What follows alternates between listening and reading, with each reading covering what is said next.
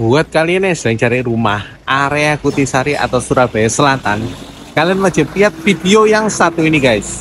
Di belakangku ini ada tiga rumah baru yang lokasinya strategis banget dalam perumahan Ro jalan utama dan lokasinya enak banget deket sama kampus Petra, deket sama Rukun Industri dan juga Trans Icon Mall. Nah, lokasinya ini premium banget.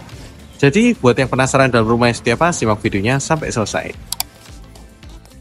Nah guys, sekarang aku mau nge-review ada tiga rumah baru yang lokasinya ini ada di Surabaya Selatan, lebih tepatnya area Kutisari.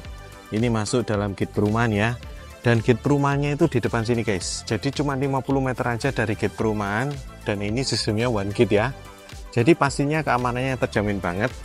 Dan kalau kalian lihat, road jalan utama dari rumah ini pun cukup besar. Ini bisa sampai 4 mobil. Nah, sebesar ini nih ya perumahannya pun juga kalau boleh dibilang perum, salah satu perumahan elit yang ada lokasinya di Surabaya Selatan. Jadi tiga rumah baru modelnya seperti ini guys. Nah sebenarnya dua rumah ini sudah pakai pagar tapi masih agak kotor. Tapi yang lumayan bersih itu yang ini yang belum dipasang pagar. Ya. Konsepnya modern minimalis seperti ini. Tapi punya desain dalam yang cakep banget guys ya lokasinya ini juga enak banget karena apa? Ini deket sama kampus Petra kurang lebih sekitar 10 menitan lah. Kemudian deket sama rumah sakit Royal 5 menitan. Deket sama Rukun Industri 15 menit. Dan juga deket sama area Trans Icon Mall. Nah itu kalau Trans Icon Mall kurang lebih jaraknya sekitar ya hampir 20 menit lah 16 sampai 20 menit. Ya Dimensinya lebarnya 6, panjangnya 17 dengan luas bangunan 175. Nah, jadi ini cocok banget kalau kalian mau carikan anak kalian rumah untuk kuliah Petra. Ini cocok banget ya. Karena selain kamarnya yang cukup banyak, ini lokasinya juga enak banget masuk daerah perumahan, jadi aman. Atau mau buat kalian yang sudah kerja di area rumput industri, cari rumah supaya nggak jauh-jauh dari tempat kerja, ini juga cocok. Kenapa? Kalau untuk anak sekolah sudah ada area Petra 5 ya. Dan juga kalau mau Petra Artisia yang daerah Pokcan juga deket banget Masian. Jadi ini kalau untuk tinggal keluarga nyaman banget sih. Nah, untuk pagarnya kita bahas dulu. Dia pakai pagar besi seperti ini yang bisa ditarik uh, ya. Jadi ditarik keluar seperti ini. Jadi didorong ini supaya nanti dia bisa uh, melebar. Nah, untuk area aksesnya eh sorry carportnya dia dimensinya 5,5 kali 5 meter. Ya jadi bentuknya seperti ini. Jadi kalau mau buat mobil dua mobil besar masih cukup masih nyaman. Dan di area kanannya ini dia suka kasih uh, taman kering seperti ini ya. Nggak terlalu besar-besar. Dan di area depan sini dia juga sudah siapin uh, area untuk rumah pompa dan juga area tandon yang ada di sini. Ya untuk bak sampah gimana? Sebenarnya kalau bak sampah kalian tinggal pasang bak sampah yang dari Eselware taruh di depan aja sudah cukup. Ya. Nah, rumah ini saya punya dua akses ya guys. Jadi di sisi kanan dan di sisi kiri. Nah, kebetulan yang sisi kiri ini mungkin belum dipasang ya. Ini fungsinya untuk area double kotor serta area cuci-cuci. Nah, ini area cucinya di sini ya. Ini area dapur kotornya. Nah, kalau boleh dibilang untuk uh, penempatan kompor kalian bisa taruh sini karena nyeroknya pasti nyerok ke dalam. Sudah dilengkapi dengan sink juga. Dan di sisi sini ternyata terhubung akses asisten yang ada di samping sini ini dimensinya kurang lebih sekitar 2 kali 2an ya. Lengkap dengan kamar mandi dalamnya. Supaya nggak pengap dia sudah kasih jendela nih di arah depan sini. Nah tinggal dikasih gorden aja. Nah kalau untuk pintu masuknya dia cukup besar ya konsepnya dia pakai pivot door. Jadi pivot doornya ini dia nggak pakai apa boleh dibilang uh, kusen. Langsung pintu full utuh seperti ini jadi dikasih engselnya atas sama bawah aja. Ya ini kurang lebih lebarnya sekitar satu hampir satu setengah lah ini. Ya cukup besar. Nah kalau kita masuk ke dalam rumahnya dia sudah konsepnya open space kayak rumah sekarang pada umumnya ya. Karena kan kalau kita kasih sekat-sekat tambah jadi kelihatan kecil. Untuk granitanya dia pakai Wisma Sati warnanya ini warna uh, kurang lebih warna krem ya berserat seperti ini. 60 kali 120 nah untuk ke arah dapur itu aksesnya dia kasih uh, kusen aluminium seperti ini dengan kaca supaya kesannya tidak terlalu sempit. Nah ini area dapurnya dia bisa langsung masuk sini. Nah untuk sisi sini pastinya untuk area kulkas ya. Nah ini juga sudah plafonnya kalau kalian lihat sudah dikasih spotlight seperti ini sebetulnya sudah dirancang sedemikian rupa jadi supaya kalian bisa uh, desain itu sesuai dengan kebutuhan nah spotlightnya pun juga sudah ada di untuk di area TV yang ada di sini dan untuk area dining gimana? Sebenarnya area dining lebih mepet ke arah sini, lebih ke arah dapurnya ya, dekat arah dapur. Untuk lantai satu juga sudah disediakan satu kamar mandi, posisinya tepat bawah tangga. Nah ini, dia sudah full granital, ya, sampai ke atas. Uh, ini untuk exhaustnya dia taruh di baliknya sini sih, supaya nggak kelihatan banget. Dan ini speknya sudah menggunakan Toto, ya. Menarik banget.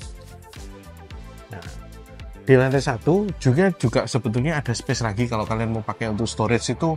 Bawah tangganya ini kalian bisa tutup lagi. Jadi sebuah storage kecil buat simpan-simpan alat-alat masih oke okay banget.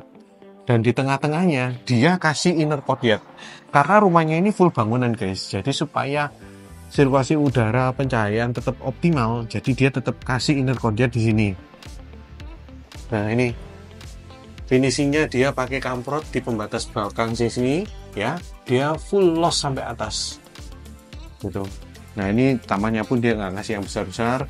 Cuma sekedar kasih hijau penghijauan ya jadi dikasih pot besar kemudian dia juga sudah siapin saluran pembuangan di situ. Dan ini kasih batu putih-putih itu sama lampu sorot cakep ini area ya ya. Di lantai satu dia juga sudah dilengkapi dengan satu kamar tidur. Nah, ini kamar tidur lantai satu ya. Dimensinya kurang lebih sekitar untuk area ranjangnya aja sekitar tiga kali tigaan ya. Dan area wardrobe-nya, dia ini area wardrobe ini yang terhubung dengan sini dengan area inner courtyard itu kurang lebih sekitar hampir 4 meteran lah. Jadi sebenarnya area lantai bawah ini kamar tidurnya kurang lebih sekitar 13-14 meteran. Jadi cukup besar sebetulnya, cocok banget kalau kamu ada orang tua yang mau tinggal di sini ini nggak sempit lah, nyaman lah mas ya. Nah, untuk rumahnya pun dia sudah dikasih bonus AC ya. Bonus AC sudah dapat. Dan untuk elektrikalnya dia sudah pakai yang merek Nero. Ya, jadi nggak yang biasa-biasa. Terus untuk area tangga dia sudah di model seperti ini. Modelnya ini dia pakai granital motif kayu, ya. Kurang lebih sekitar satu koma yang ini satu setengah ya yang atas ini mungkin 1,2an lah nah yang paling niat itu yang di sini guys jadi meskipun dia nggak ada railing uh, dia tembok pembatasnya ini yang untuk sisi kirinya ini dia sudah full cover loh guys dari atas sampai bawah. Niat banget ini. Dan dikasih skylight memang nggak full ya. Jadi di ujung atas ini ya dan di ujung situ. Dan dia juga ada satu lampu sorot. Ini betulnya menarik banget sih.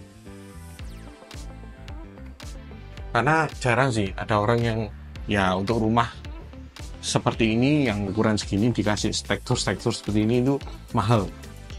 Itu jadi finishingnya ini kalau boleh bilang lux banget.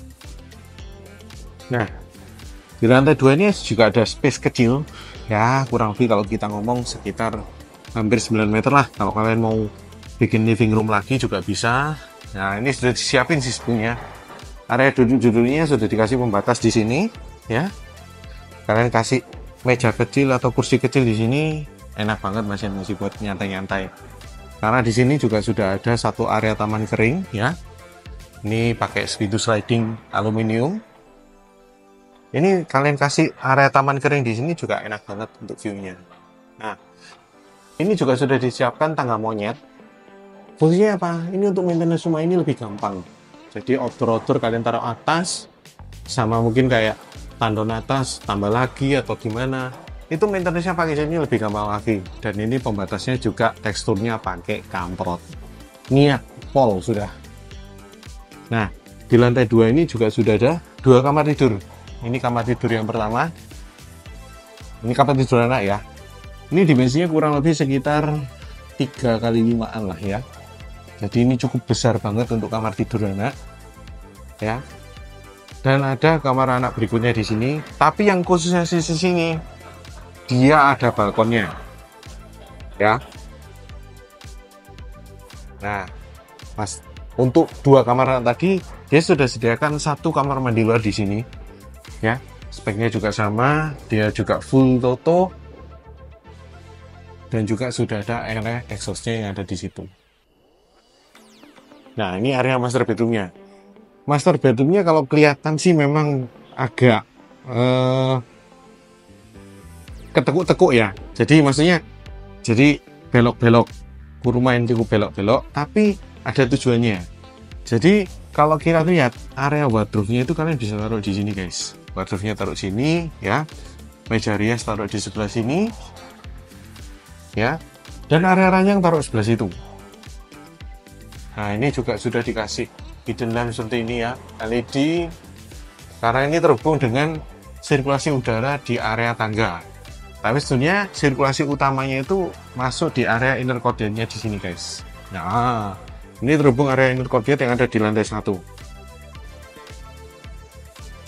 Nah, jadi dibuka ini aja udaranya pasti sudah ngalir.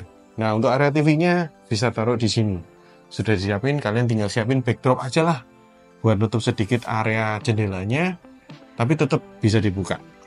Nah master bathroomnya itu juga ada di sini ya. Ini juga sama full speknya Toto. Nah ini sudah dikasih uh, area untuk exhaust dan juga hidden lamp juga di situ. Nah ini. Ini juga sudah dikasih area untuk sirkulasi udara juga. Jadi sudah ditata sedemikian rupa. Menarik banget. Nah ini di angka 2 eman rumahnya lebih tepatnya sih di 2,3 menurut kalian worth nggak? Spill di komen dong. Nah buat kalian yang membutuhkan informasi lebih lanjut jangan ragu-ragu segera hubungi di nomorku ada di video ini link juga ada di bio. Like dan share video ini dan share ke teman kalian yang membutuhkan. See you on the next video